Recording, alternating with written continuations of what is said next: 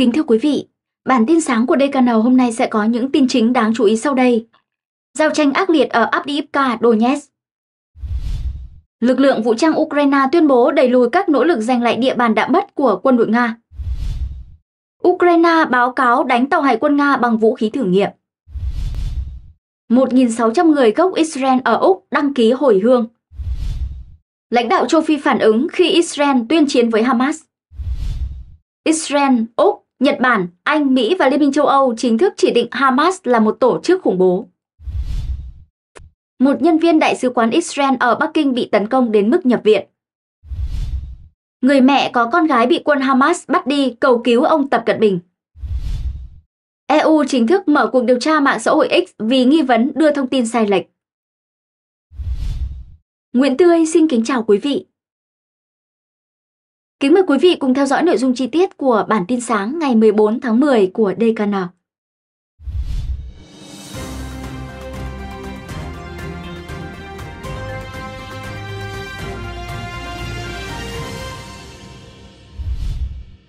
Tình hình ở chiến trận Avdiivka thuộc tỉnh Donetsk đang rất căng thẳng. Lực lượng Nga đã tăng cường các cuộc tấn công và đang cố gắng tiến lên bằng cách sử dụng các phương tiện chiến đấu bọc thép. Nhưng binh lính Ukraine vẫn giữ vững vị trí của mình. Giao tranh ác liệt xảy ra liên tục suốt 4 ngày qua. Vitaly Barbas, Cục trưởng Cục Quân sự Abdiivka cho biết, cuộc giao tranh tiếp tục sang ngày thứ tư, quyết liệt và không ngừng nghỉ. Giao tranh diễn ra từ các loại súng nhỏ cho đến cả pháo binh. Nga đang sử dụng mọi thứ họ có và máy bay đang được sử dụng liên tục. Cục trưởng Cục Quân sự Abdiivka nói họ đã trải qua những đêm nóng bỏng rát ở Abdiivka, đã có nhiều cuộc không kích vào thành phố và quân Ukraine thậm chí không đếm được quân Nga đã bắn từ bao nhiêu vị trí. Có rất nhiều vị trí và hàng trăm cuộc tấn công. Ông Military miêu tả thêm rằng các cuộc tấn công không ngừng dù ngày hay đêm và người Nga đã sử dụng rất nhiều xe chiến đấu bọc thép và bộ binh đi kèm. Họ có rất nhiều thiết bị và nhân sự, đồng thời họ đang tiếp tục đưa nhân sự và thiết bị mới vào.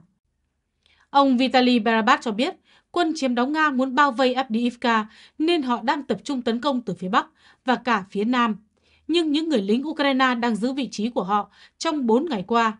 Dự báo Ukraine vẫn còn khả năng chống cự lực lượng phòng vệ Ukraine tuyên bố đã đẩy lùi được tất cả các cuộc tấn công của Nga ở phía Nam. Sergei Bratchuk, người phát ngôn của quân tình nguyện Ukraine, miền Nam nói trên truyền hình Freedom hôm 13 tháng 10 rằng, ở hướng Nam của Ukraine thì Tarivsky, Zaporizhia đều được kết nối với nhau, vì đây là nơi diễn ra các hoạt động quân sự chủ yếu và lực lượng phòng vệ đã đẩy lùi được rất nhiều các cuộc tấn công của quân Nga. Sergei Bratchuk cho biết, lực lượng vũ trang Ukraine đã đẩy lùi được Nga ra khỏi những vị trí đã bỏ trống trước đó, chẳng hạn như Robotine.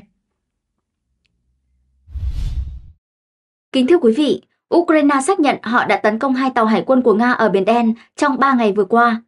Đây là một hoạt động phối hợp tấn công giữa Hải quân và Cơ quan An ninh Ukraine với việc sử dụng một vũ khí thử nghiệm mới Sea-Baby cải tiến.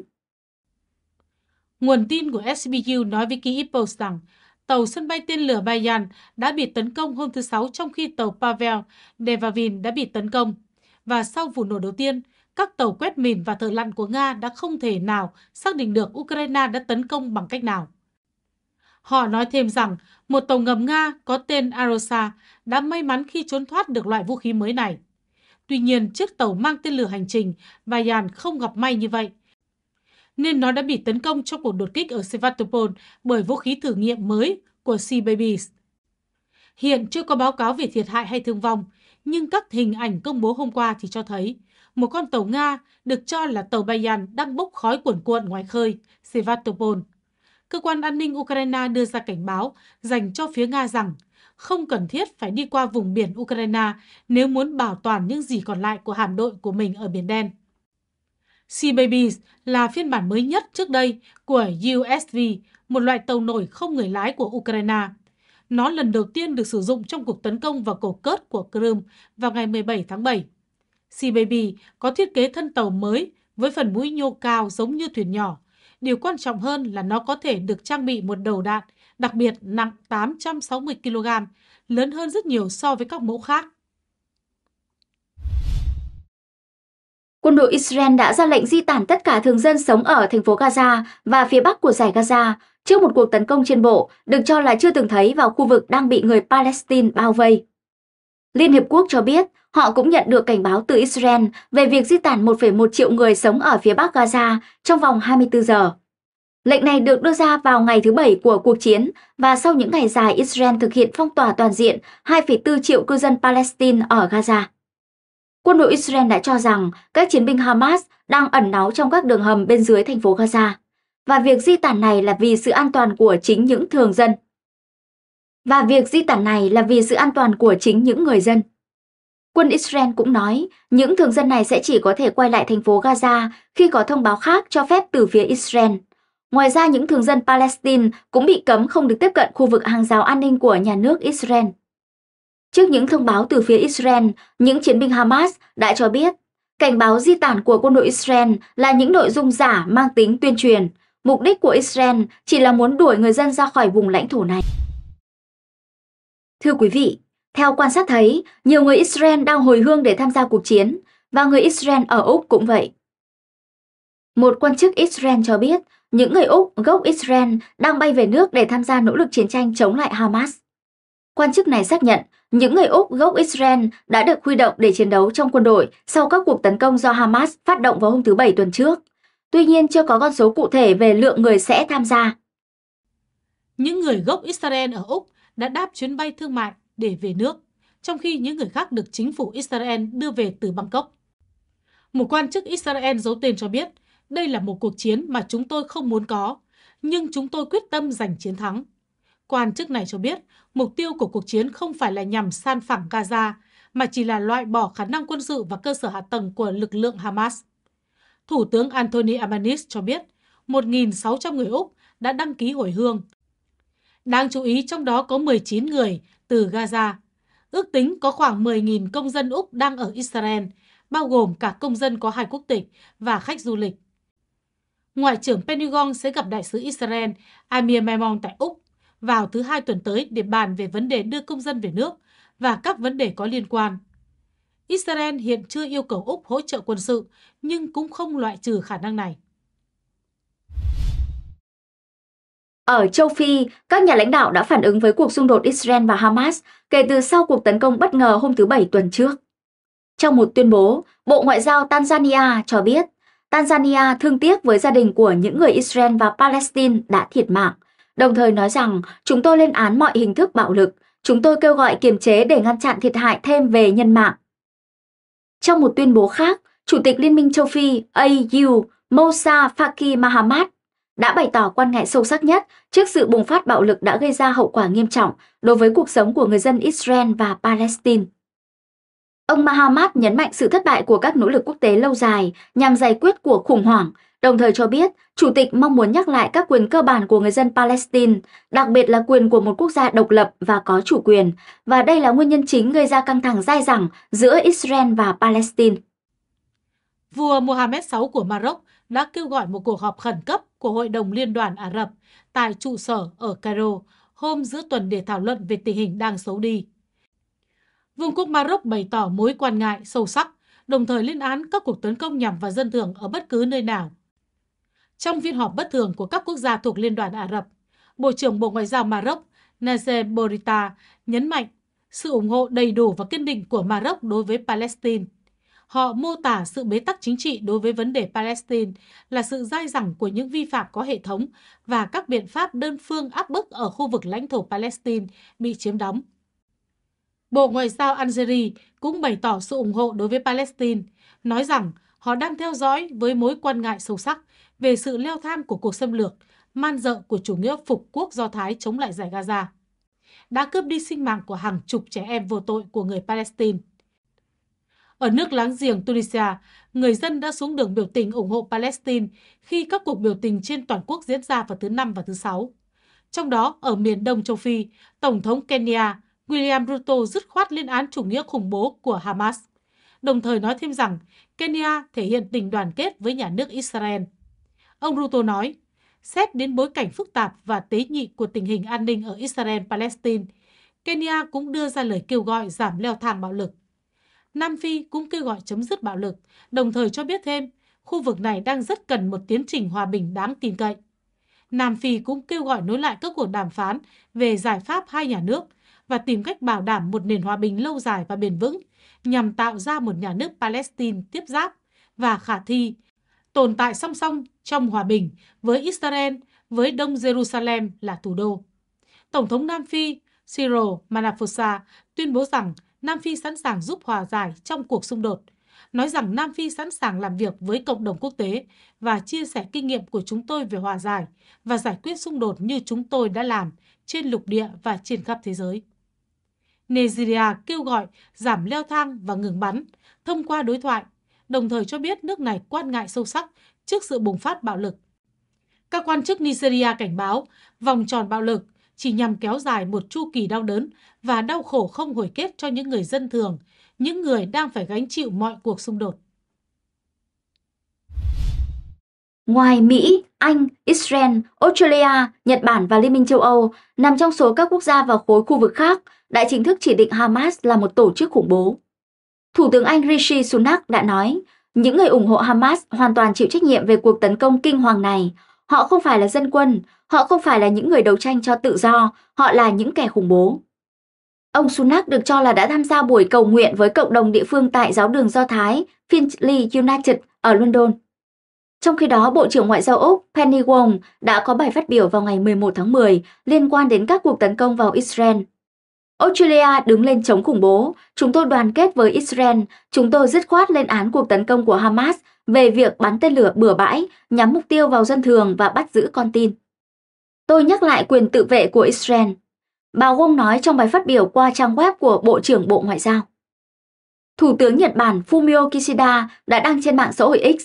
Ông viết, Nhật Bản lên án mạnh mẽ các cuộc tấn công gây tổn hại nghiêm trọng cho thường dân vô tội. Tôi bày tỏ lời chia buồn tới gia đình tang quyến và sự cảm thông chân thành đến những người bị thương.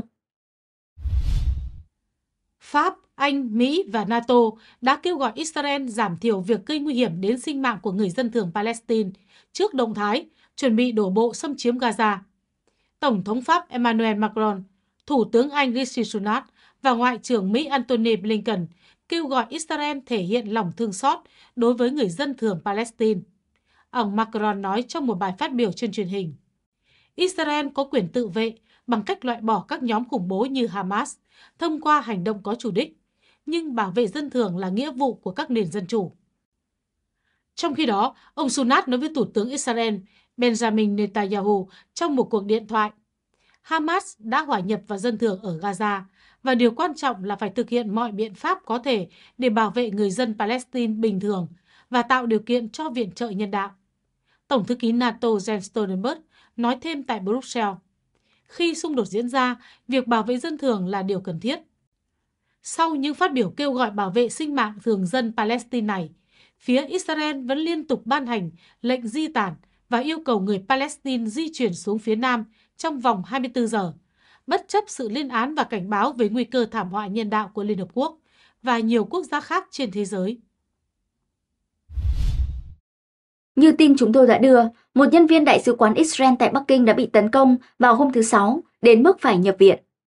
Hiện chưa rõ nguyên nhân gây ra cuộc tấn công, tuy nhiên sự việc này xuất hiện sau khi Israel lên tiếng chỉ trích những động thái của Trung Quốc sau cuộc tấn công của Hamas vào miền nam của Israel. Bộ Ngoại giao Trung Quốc ra thông tin với báo giới rằng vụ tấn công không xảy ra trong khuôn viên của đại sứ quán. Danh tính của nhân viên đại sứ quán này cũng không được công khai và chưa có ai nhận trách nhiệm về vụ tấn công này. Thông tin từ Bộ Ngoại giao cho hay, nhân viên đại sứ quán này đã được chuyển đến bệnh viện và đang trong tình trạng ổn định. Hiện tại, các quan chức của Israel vẫn đang cố gắng đánh giá nguyên nhân dẫn đến vụ tấn công. Bộ Ngoại giao Israel đã đưa ra một tuyên bố cho biết đại sứ Rafi Hapas đã nói chuyện với đặc phái viên Trung Quốc tại Trung Đông để bày tỏ sự thất vọng sâu sắc của chính phủ Tel Aviv đối với những bình luận của chính quyền Bắc Kinh sau vụ xâm nhập của Hamas. Tuyên bố cho biết không có sự lên án rõ ràng và dứt khoát nào về vụ thảm sát khủng khiếp do tổ chức khủng bố Hamas gây ra nhằm vào thường dân vô tội và vụ bắt cóc hàng chục người trong số họ đến Gaza. Các thông báo của Trung Quốc không chứa bất kỳ yếu tố nào về quyền tự vệ và công dân của Israel. Quyền cơ bản của bất kỳ quốc gia có chủ quyền nào bị tấn công theo cách thức chưa từng có và với sự tàn ác không có chỗ đứng trong xã hội loài người. Tại Bắc Kinh, hiện tại có hàng chục cảnh sát mặc thường phục đóng quân bên ngoài Đại sứ quán Israel, bên cạnh đội ngũ sĩ quan mặc đồng phục thông thường. Sau vụ tấn công ngày 7 tháng 10, một đoạn video quay cảnh cô gái 25 tuổi Noah Agamani bị lực lượng Hamas bắt cóc tại một lễ hội âm nhạc đã lan truyền trên mạng xã hội.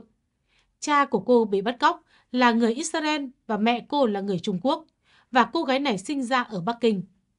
Tờ New York Times đưa tin, mẹ của cô gái bị bắt đến từ Vũ Hán và bà đã kêu cứu lãnh đạo cao nhất của Đảng Cộng sản Trung Quốc là ông Tập Cận Bình giúp con gái bà giành lại được tự do.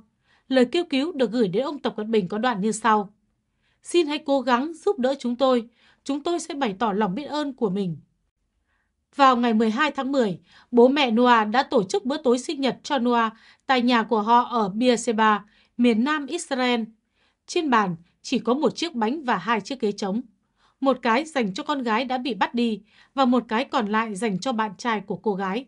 Cả hai người đều đã bị bắt.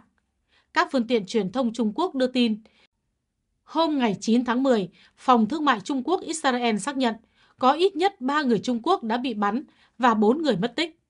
Đại sứ quán Trung Quốc được cho là đang nỗ lực tìm kiếm những người mất tích. Phía Bộ Ngoại giao Đảng Cộng sản Trung Quốc trước đó tỏ ra thiếu chắc chắn trong việc công bố hình ảnh các nạn nhân Trung Quốc. Mãi đến ngày 12 tháng 10, họ miễn cưỡng thừa nhận rằng cuộc tấn công của Hamas vào Israel khiến ba công dân Trung Quốc thiệt mạng và hai người khác mất tích. Tuy nhiên, vẫn như mọi khi, dư luận nghi ngờ con số thực tế luôn cao hơn báo cáo từ bộ máy Đảng Cộng sản Trung Quốc. Một thông tin khác trên thế giới, Liên minh châu Âu đã mở một cuộc điều tra về nền tảng X của tỷ phú Elon Musk vì lo ngại về việc phát tán nội dung bất hợp pháp và thông tin sai lệch xung quanh cuộc xung đột Israel-Hamas. Ủy ban này đã gửi cho gã khổng lồ truyền thông xã hội X, hay còn gọi là Twitter trước đây, một yêu cầu chính thức về thông tin theo các quy tắc an toàn trực tuyến mới, tạm gọi là Đạo luật Dịch vụ Kỹ thuật số DSA, vốn dĩ đã có hiệu lực vào đầu năm nay. Theo Liên minh châu Âu, các nền tảng truyền thông xã hội đã chứng kiến sự gia tăng thông tin sai lệch, nội dung bạo lực và lời nói căm thù về cuộc xung đột giữa Israel và Hamas trong những ngày gần đây. Trong đó, cả EU và Vương quốc Anh đều cảnh báo các nền tảng lớn nhất rằng họ phải làm nhiều hơn nữa để ngăn chặn sự lây lan này. Nếu EU tin rằng nền tảng X đã vi phạm các quy tắc, họ có thể mở một cuộc điều tra chính thức và nếu vi phạm được xác nhận, X có thể phải đối mặt với mức phạt đáng kể, lên tới 6% doanh thu toàn cầu, hoặc bị đình chỉ dịch vụ. Theo DSA, X thực được chỉ định là nền tảng trực tuyến rất lớn, nghĩa là nó phải tuân thủ bộ quy tắc nghiêm ngặt nhất theo DSA, nghĩa là đánh giá và giảm thiểu rủi ro liên quan đến việc truyền bá nội dung bất hợp pháp, có hại và bạo lực. Trong một tuyên bố, Ủy ban châu Âu cho biết, trong trường hợp này, các dịch vụ của Ủy ban đang điều tra sẽ xem xét các chính sách lẫn thực tiễn hoạt động của nền tảng mạng xã hội này, bao gồm cả các thông báo về nội dung bất hợp pháp, xử lý khiếu nại, đánh giá rủi ro và các biện pháp giảm thiểu rủi ro. Trước đó, trước những vấn đề lo ngại từ EU, Giám đốc điều hành X là Linda Vaccarino cho biết, trang này đã xóa hàng trăm tài khoản có liên quan đến Hamas và cũng thực hiện hành động xóa hoặc gắn nhãn hàng chục nghìn bài đăng liên quan đến những vụ xung đột này. Kính thưa quý vị, bản tin sáng của DKN xin được kết thúc tại đây. Quý vị đừng quên bấm vào nút đăng ký kênh và nút chuông để nhận được thông báo về những video mới nhất của chúng tôi. Trân trọng cảm ơn sự quan tâm theo dõi của quý vị. Xin thân ái, chào tạm biệt.